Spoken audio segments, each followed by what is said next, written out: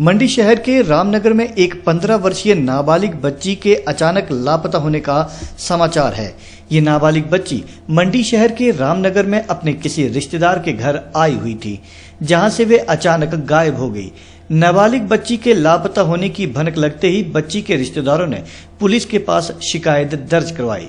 शिकायत मिलते ही मंडी पुलिस ने मामले की गंभीरता को देखते हुए छानबीन शुरू कर दी है। जिसके लिए पुलिस ने टीम गठित कर जम्मू के लिए भी एक टीम रवाना कर दी है। मामले की पुष्टि करते हुए एएसपी मंडी भूपेंद्र सिंह ने उम्मीद ज़ाहिर करते हुए कहा कि जम्मू रवाना हुई टीम निश्चित तौर पर अचानक हुई लापता बच्ची को ढूंढकर शीघ्र मंडी वापस आएगी।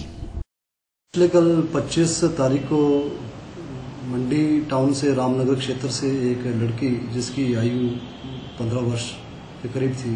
वही अपने रिश्तेदारों के पास मंडी रामनगर में आई थी। लेकिन अचानक कहीं चली गई तो उसमें हमने अंडर सेक्शन 363 अभियोग दर्ज किया। अभियोग दर्ज करने के बाद जानकारी एकत्रित की कि कहाँ, कैसे, उसका मोबाइल नंबर जो अभी तक स्विच ऑफ़ चला रहा है।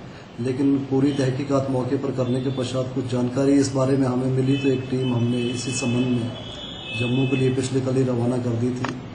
और मुझे उम्मीद है कि वहाँ से अच्छी इन्फॉर्मेशन हमारे पास आएगी क्योंकि कुछ नंबर्स हमको मिले थे, उसकी लोकेशन का कुछ पता चला था।